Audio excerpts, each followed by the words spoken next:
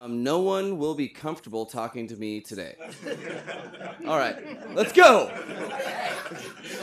Backstory to this Barry is unbelievable. Okay, because I was I was assuming you wouldn't uh, state the right question, and I was going to have to offer up um, as a gift to your diligence.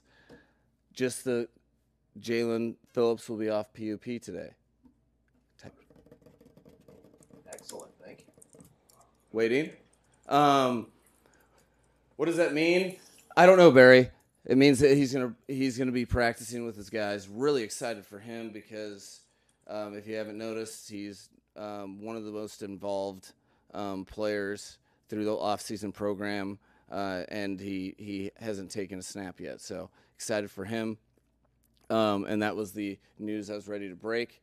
Um, I don't expect to see um, uh, Odell this week, um, but I would put it in the week to week category after that. So, um, you know, I'm just feeling really open. So I'm just throwing that information out.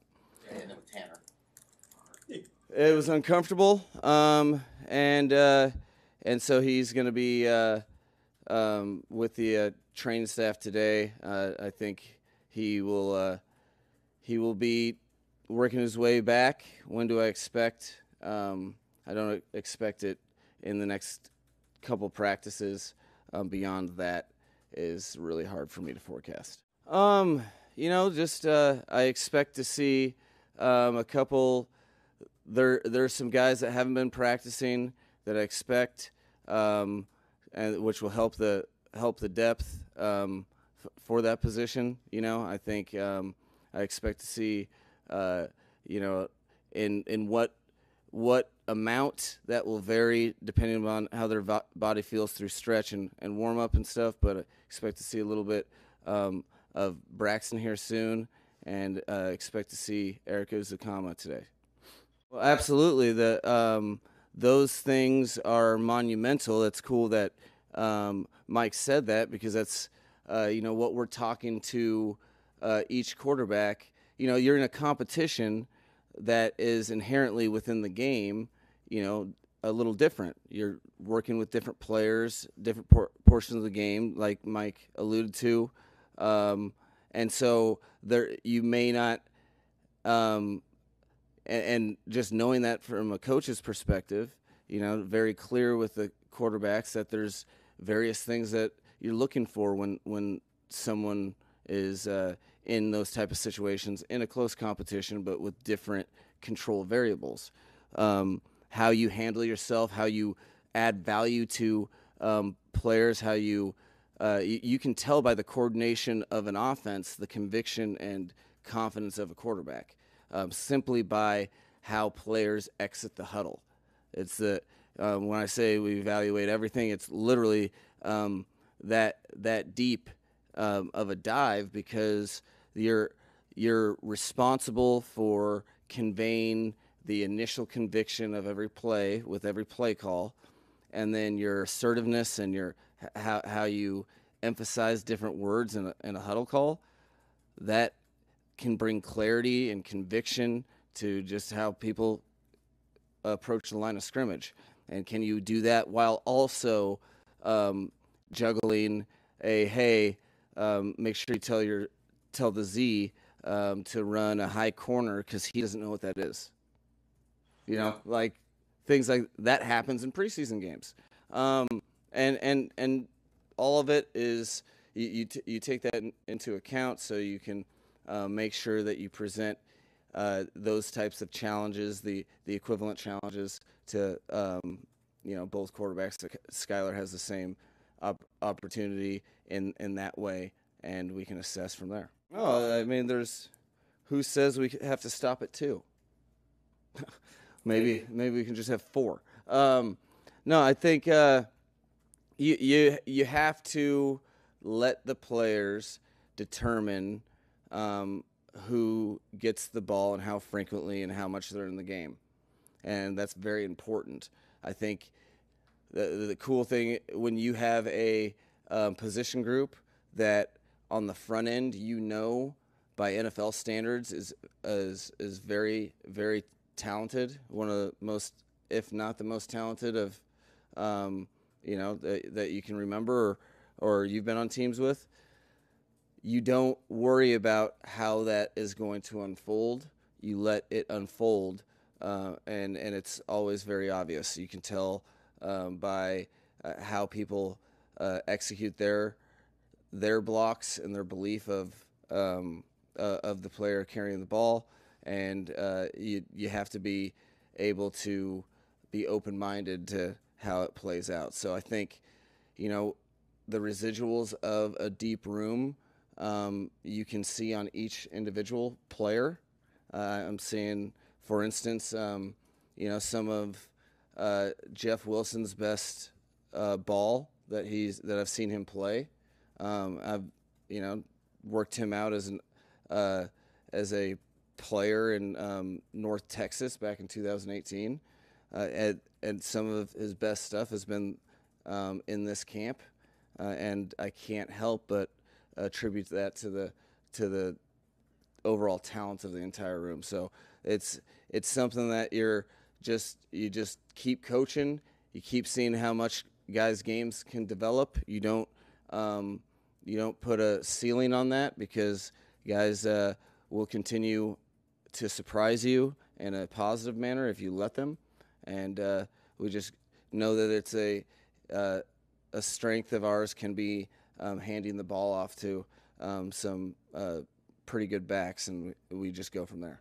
So uh, Pat's it, has been cool to watch Pat develop uh, in non-padded situations because you you got to see a player uh, directly take uh, technique training and drill work and apply it, um, and you know, in his game and evolve his game from the first day we saw him.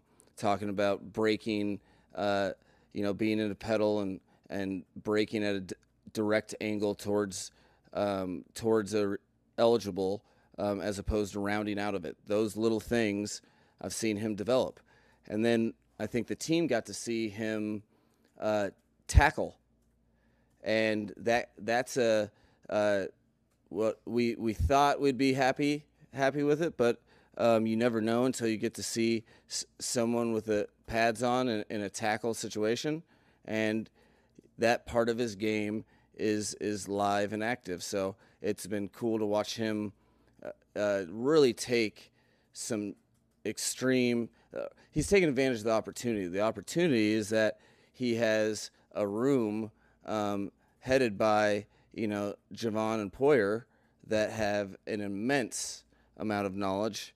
You have a you have um, you know Elijah Campbell's really going after it. Nik Needham's getting in there. Sometimes Marcus Maye has done a lot of stuff in this in this league, and all those factors he's taking advantage of. So um, he's in charge of how far that goes and and and what he's able to do on this team as a rookie. But um, what, what I do know is he's taking full advantage of his ops and his game continues to to grow, and it, it has to as a rookie. You you have to. Uh, it's very very hard to contribute as a rookie in the National Football League, and and the rookie years, um, uh, not built for everyone to excel um, during. So it takes a, a, special commitment, and so far so good with him. Uh, we'll see what this week and this practice has in store for us from him. No, I think uh, the overall, I think there there was um, several uh, technique principles that we we've really taken a look at how we articulate and coach them and emphasize them. And so one of those being, you know, the line of scrimmage. And what I was happy happy with, uh, you know, at times during the game, and particularly in the in the group that uh, Patrick was playing with, I saw the line of scrimmage be reset, uh, and that and that is something that uh, we work diligently at. We've we've tried to kind of reframe how we articulate it to to engender better results. Um, and I think overall, there's uh, I, I you, you, get to learn a lot about your overall team and where they're at by some of the the uh, twos and threes and where their game's at, because it's almost like a baseline of what is your your your starting point where your game's at and what has clicked for for the group, and to see the, the line of scrimmage reset at times, um, that was very encouraging.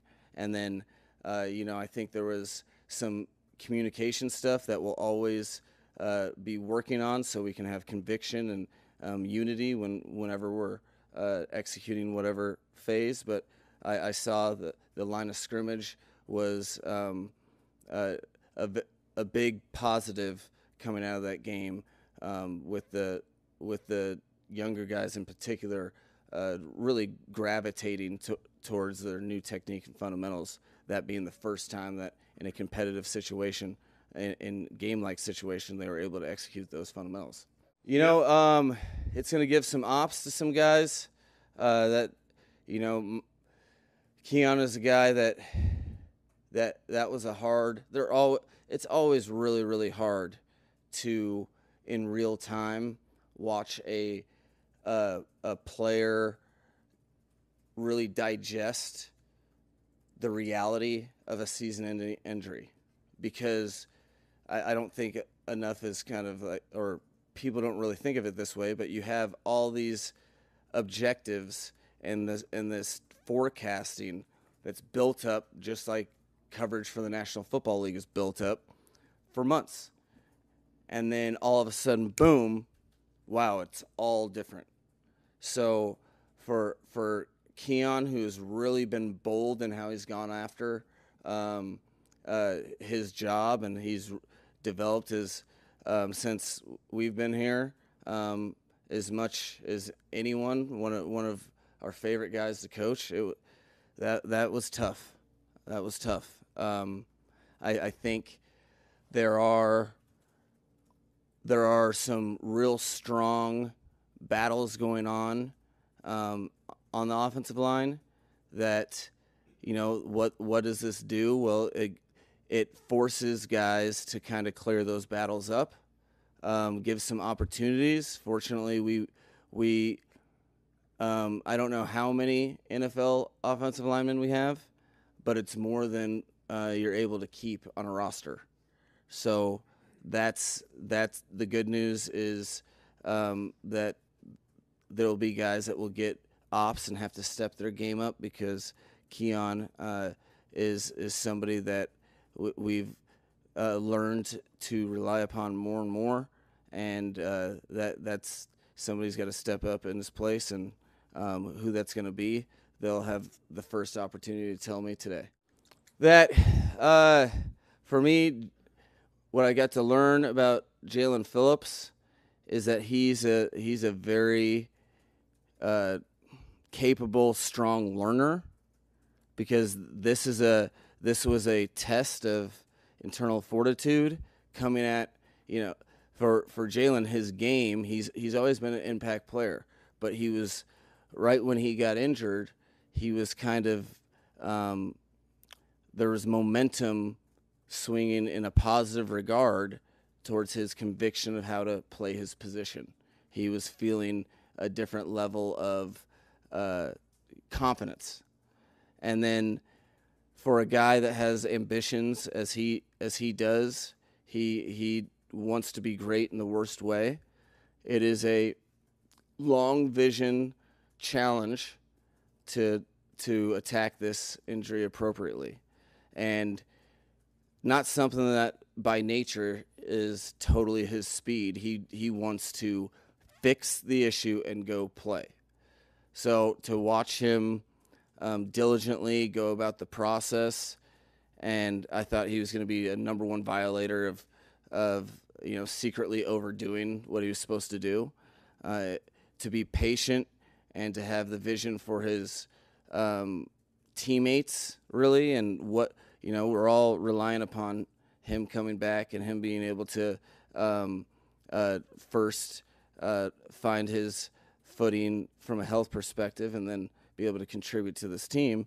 Uh, I've been very proud of how he's how he's attacked that, um, and while doing so, doing things that leaders do, which is you you you feel his presence as a teammate. Um, You know, I think uh, even when he's not playing, um, he he definitely took note.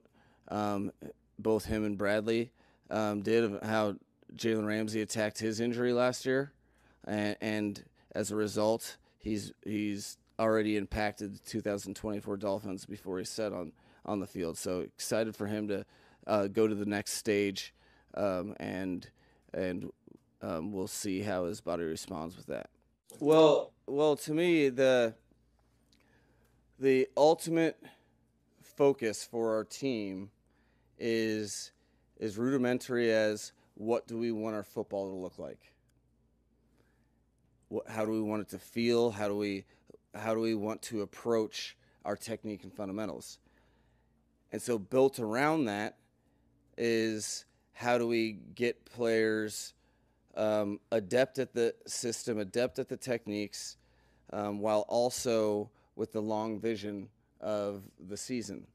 And so for me, it's really prioritizing how, when we go, we recreate game like enthusiasm, focus, attention to detail. Um, that to me is how you create and build and maintain your standard. Within all of those moving parts, you have to develop a trust um, uh, with, from, from, my, from my perspective, comes from wise, but you have to be, develop a trust with your, with your locker room that they, we won't ever um, shortchange the, the way we go about full speed stuff, but we have to dive into the science, we have to follow trends, and we have to adjust our rep counts accordingly so that we don't um, do either end of the spectrum, not prepare guys or over overwork guys. So that whole thing, um, to me, uh, if you have one uh, one group of people moving in the right direction or in one direction, and you explain your whys with diligence um, and and get the appropriate buy-in from the locker room, you can go out and we can get infinite amount of game reps more than our opponents. That's kind of how how how I look at things. So it is a um, balancing act for sure, which is why I have a hard time absoluting stuff and how things kind of change uh, to a certain degree each and every training camp because you have a different problem to solve. And then what happens if you have too many players that need management and then you overwork well you can't do as many reps. You know it's it's um, ever evolving. Um, i think you know case in point the practice today um, you know with with various um, constraints at s- certain specific positions we had to front load the front load with our full speed reps, and we kind of have to have a in between um, walk through and live practice jog through at the tail end of it. That's something that you guys aren't used to me totally seeing all the time, um, but that's an adjustment to protect the way we train our fundamentals and technique. Which, um, if you want to be a good football team, or the best football team or um, anything um, that fall falls in the in the bucket of where we're trying to go, you have to um, train those.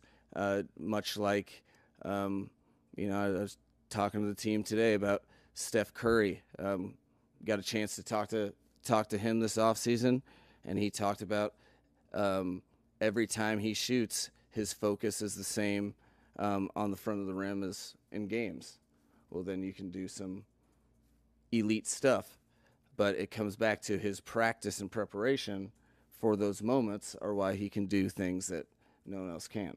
So that approach, which makes it impossible to kind of forecast um, exactly how things will play out, uh, because you you always have to attend to all the.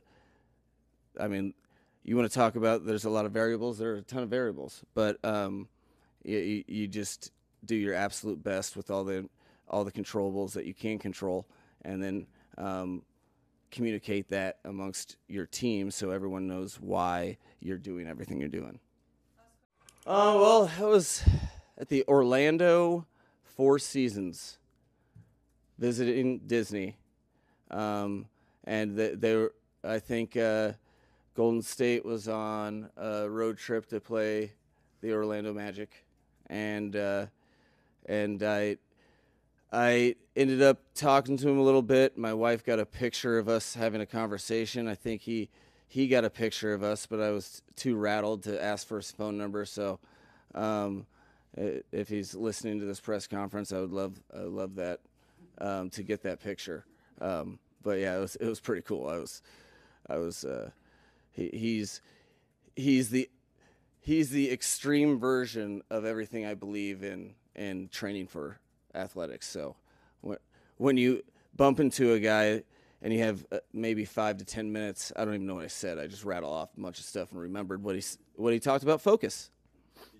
Um, well, that, that goes to something that happens to me on routine. So I, he he did know who I was, which made no sense.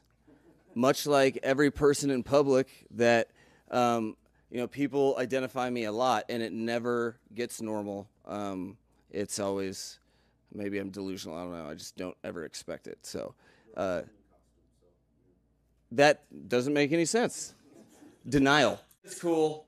It was really cool to see him um, doing what we, you know, everybody that has worked with him has always known that he would be uh, elite at. So it was fun, um, and it would have been more fun if he would have failed at his challenge. Um, unfortunately, he didn't.